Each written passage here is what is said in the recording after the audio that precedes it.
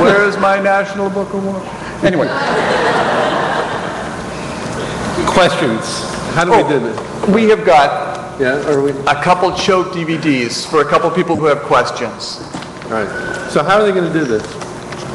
I got the mic. We had a bargain. Right here, right here. The bargain guy. Right here. There you are. Okay. I guess this is, this might go to your publisher. Or, but, uh, you touched on it, with Kindle coming out with the iPods, uh, and all that jazz, destroying the record industry. Are you really concerned in the, uh, publishing industry with Kindle and with electric and ebooks and all this? And for books, maybe five, ten years down the road? Let's face it, we're toast. Next question? Well, I had, uh, you know, there's a, a couple things kind of happening in that way. I had dinner with name dropping Tourette's. I had dinner with Neil Gaiman in Italy last year.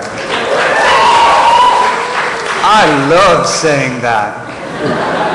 I had dinner with Neil Gaiman in Italy last year. Oh, it was funny. Neil was saying the funniest thing in Italy. Did I mention that I had dinner with Neil Gaiman in Italy last? And he said that, yeah, he thinks in the same way that there'll always be pirated copies of books overseas, you know, that there will be pirated audio files. But the nature of consumption for books is so specific to books that people really like having that kind of trap door that they open up and that they are the only person consuming this thing and that this thing holds their full attention in this very stark way. And that might work with a Kindle, but you can't really have a Kindle signed and you can't put the, you can't put that all those Kindles on the shelf as this kind of external cue to your date.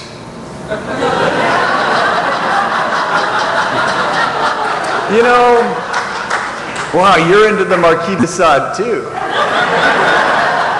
And you can't sort of stand there with the Kindle in public as that badging device that allows other people to come up to you and say, and that's why we got the trophy, because the trophy is that big fetish object. And when you walk down the street with that huge trophy, total strangers will cross the street to come up and go, all right!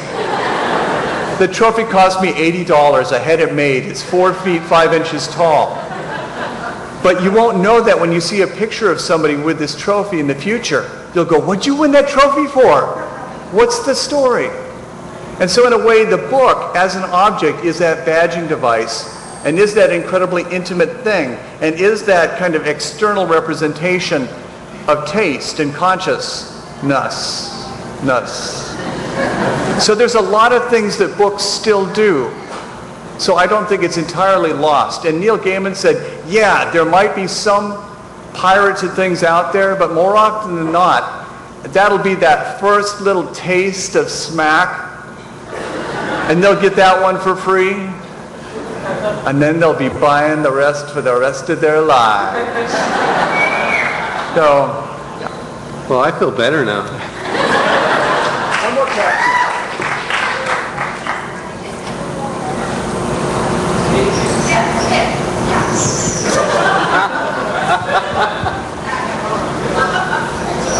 Speaking of Neil Gaiman. sure. so, speaking of Neil Gaiman, uh, I was at the 20th anniversary of Sandman this past fall, and uh, Chip Kidd, who was hosting it, mentioned that Clive Barker, during a signing, somebody gave him something wrapped in a towel and said, open it after the signing. So when he opened it, it was a cat's head on like a walking stick.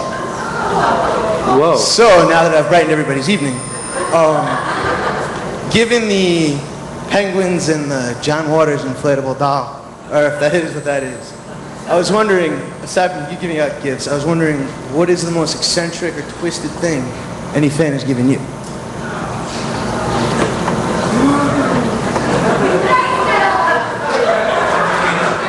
Uh-oh. The, uh, I hadn't heard that one, a cat's head. It's probably Gerry's cat. Yeah.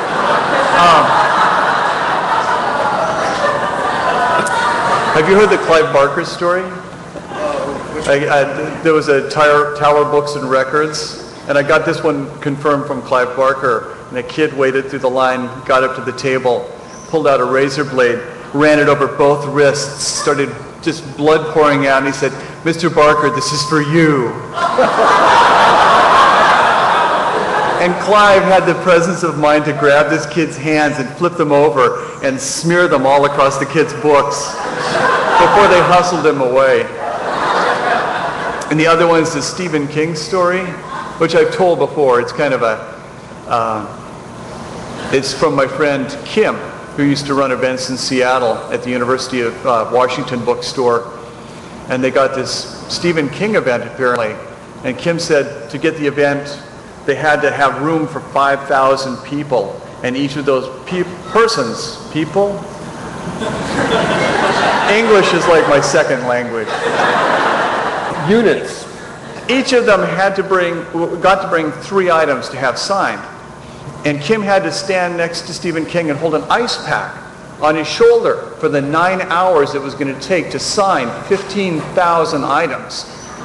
And just a few items into this long day, he turned to her and he had these huge calluses, go figure, on his thumb and forefinger from the lifetime of signing. And he said, Kim, could you get me a bandage?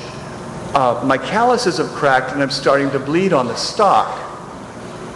And before Kim could step off, the first person in line heard that and just blurts out, oh, don't bandage Mr. King till he bleeds on my books.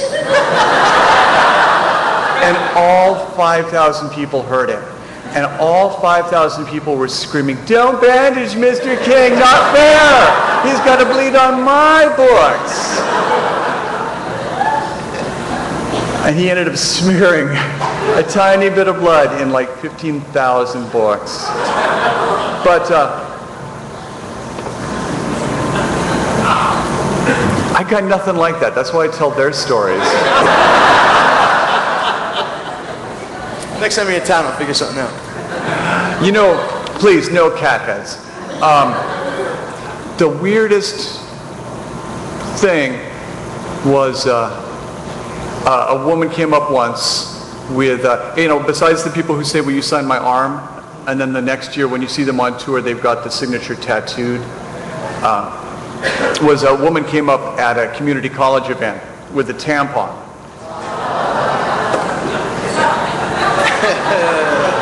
And then 10 minutes later, she was back in line. And she said, guess where your signature is?